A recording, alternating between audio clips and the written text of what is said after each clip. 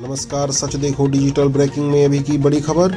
बिहार से दिल्ली आ रही spice jet flight में बम होने की झूठी सूचना देने वाले आरोपी को पुलिस ने गिरफ़्तार कर लिया है। आपको बता दें, बिहार के रहने वाले आरोपी जय कृष्ण कुमार, जिसकी उम्र 25 वर्ष, ने फ़्लाइट छूटने के बाद दरभंगा एयरपोर्ट अथॉरिटी को फर्जी कॉल किया था। इसके बाद एयरपोर्ट पर इमरजेंसी घोषित कर दी गई थी।